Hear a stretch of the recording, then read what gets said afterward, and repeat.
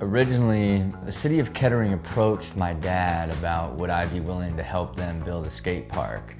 And that's when I knew I had a real opportunity to, to make real change and, and be the loud voice with the community support to just make the very first pure skate plaza.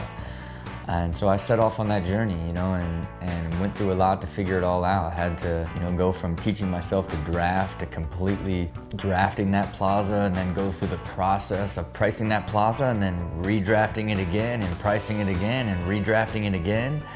I was so pure with making that like the, just a end all be all plaza, every aspect of it being like real hardcore skate spots that I could barely even skate anything on it when, when it opened. You know what I mean? Like I could barely even skate like the small rail. I couldn't even get enough, I couldn't even like get enough thrust to like hit the gap over the stairs. It was like a legitimate like, you know, four feet in the, in the air, you know, so.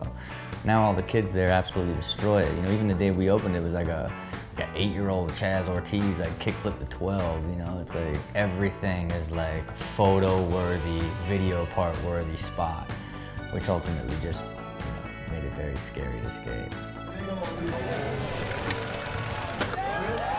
My goal was just do one. All it needs is just one to be finally done to be like, look, this is what it looks like if you just make a pure street plaza. And I knew that the world would embrace it and that they'd start making them all over the world. I, you know, it was just sort of a cool thing for me that I got to do the first one in Kettering, Ohio, where I grew up as a way to kind of give back to that community. You know, once I met California skate parks and Joe Ciaglia, it really opened up my eyes to what was truly possible. Because it took me three years to get that first one done in Ohio. After I met him, that's when I really realized you know, the, the, way to get these done isn't to go through the process of building a giant skate park. Uh, how about just building a skate spot?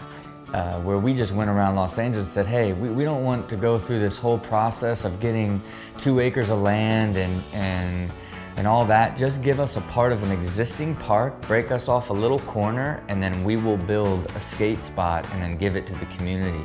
Today, the plazas have evolved into all aspects. Being led by street, but still a ton of great tranny and, and a lot of fun things to skate where the evolution of the plaza always came from the idea of just a really good place to ride a skateboard that you could ride at any time, you know, and, and, and that's what the foundation has always stand for.